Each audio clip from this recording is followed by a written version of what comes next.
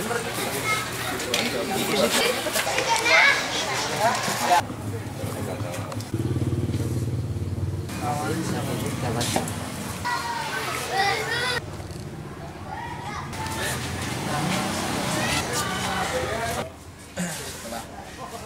modeling kita melakukan mengaku kenal dengan dua bola.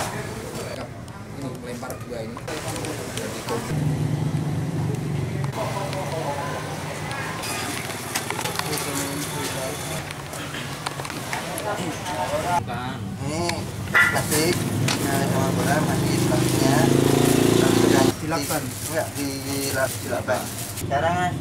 beda-beda jadi dirincikan juga kapan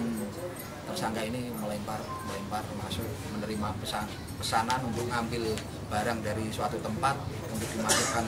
ke dalam bola lanjut dilempar ke dalam lapangan